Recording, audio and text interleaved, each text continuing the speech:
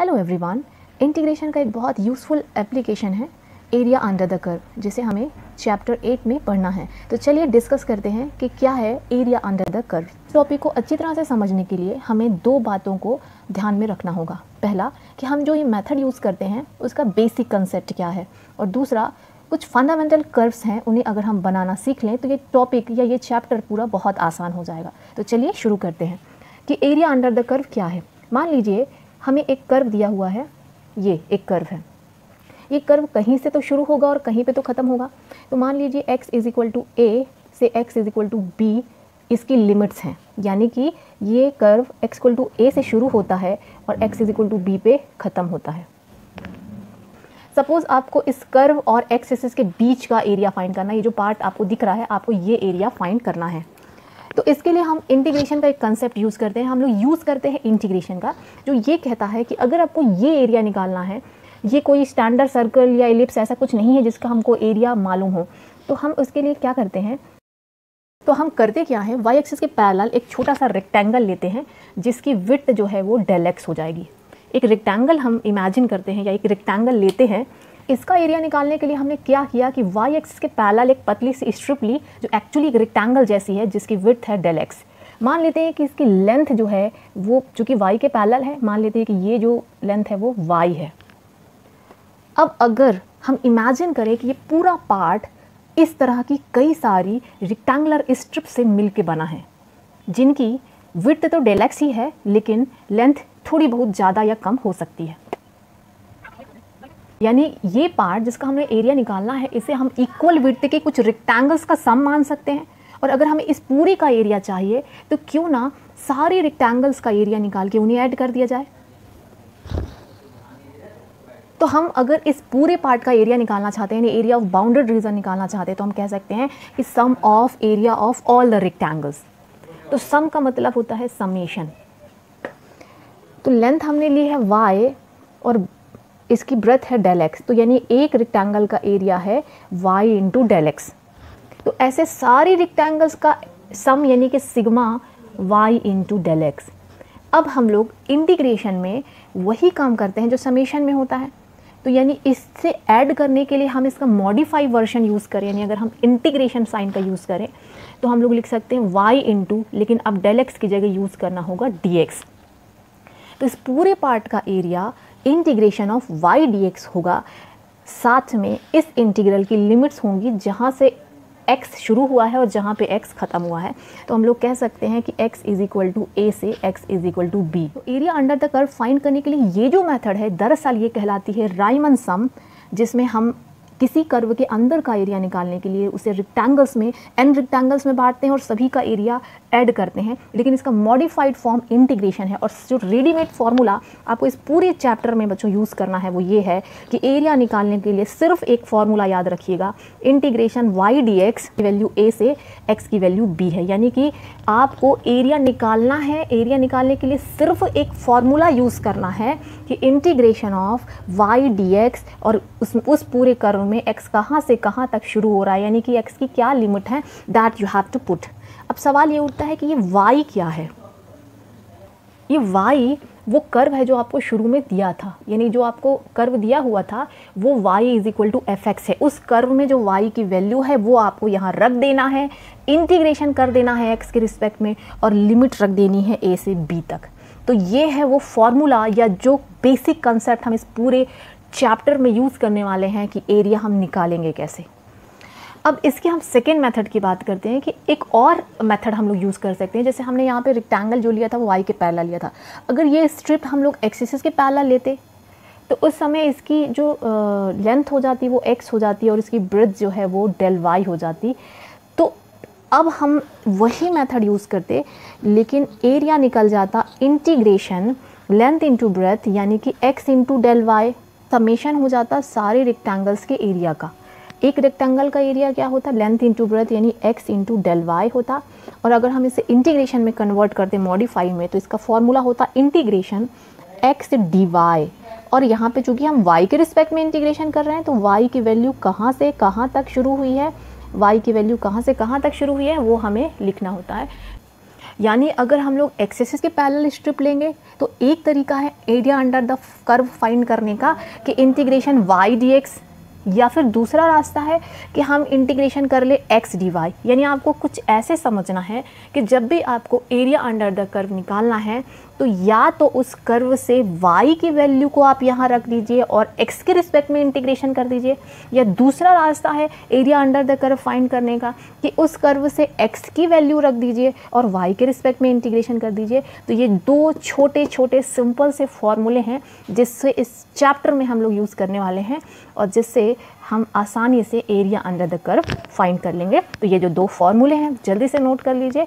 तो basic concept discuss करने के बाद अब हम लोग आते हैं दूसरे पॉइंट की ओर कि हमें एरिया फाइंड करना है तो पहले डायग्राम बनाना होगा। जब भी हमें कोई क्वेश्चन दिया होगा एरिया निकालने का, उसका डायग्राम हमें खुद से ही बनाना होता है। तो चलिए बात करते हैं कुछ बेसिक कंसेप्ट की, जिससे आप किसी भी क्वेश्चन में डायग्राम इजीली बना सकें।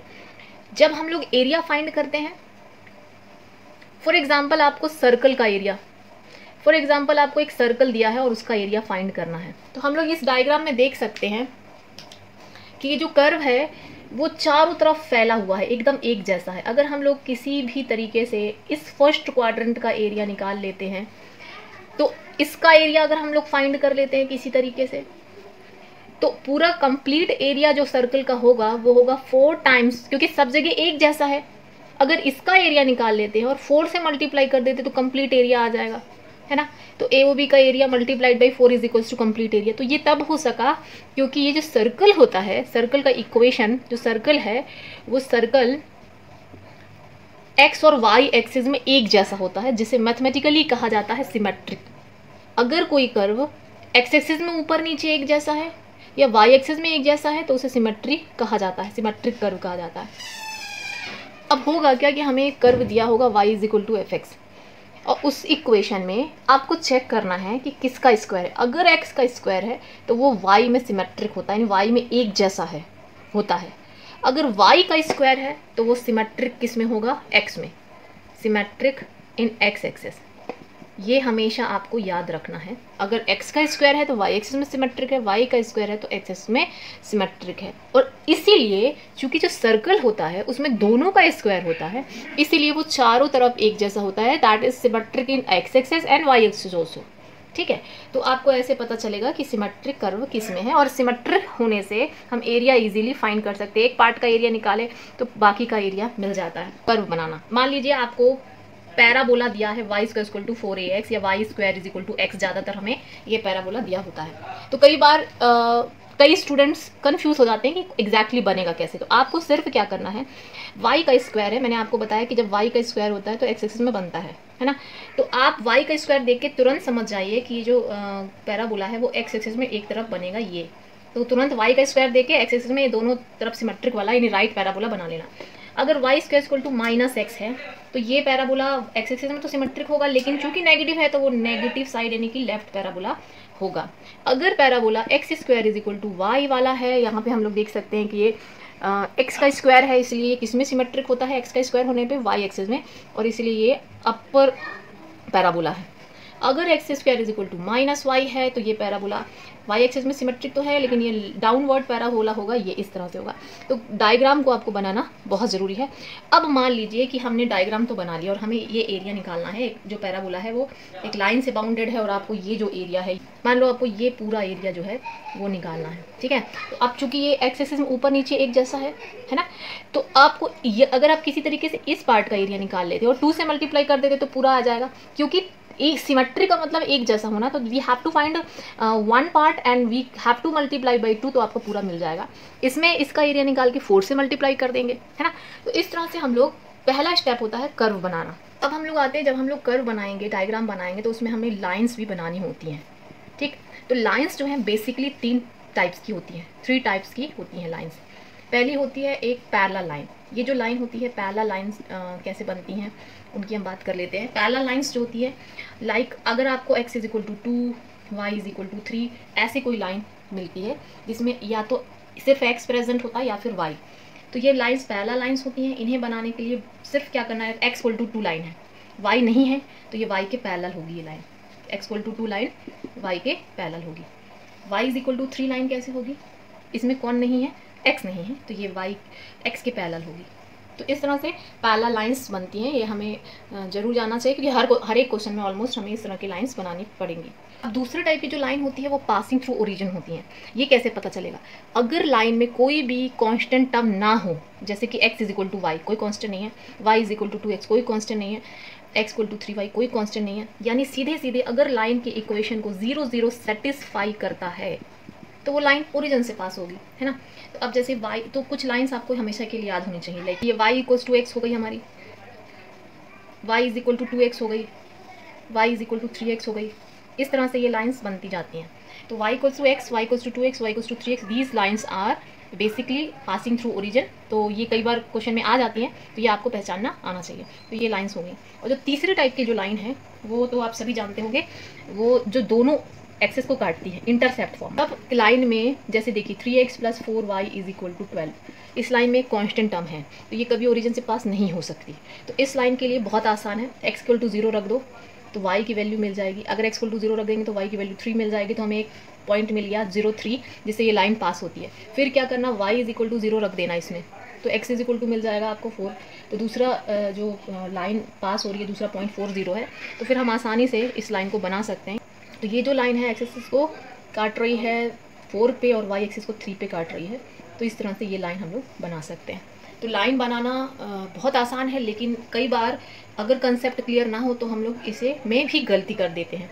तो आई थिंक कर्व ट्रेसिंग में आपको, आप प्रॉब्लम नहीं होगी, आप आराम से बना सकते हो इसे।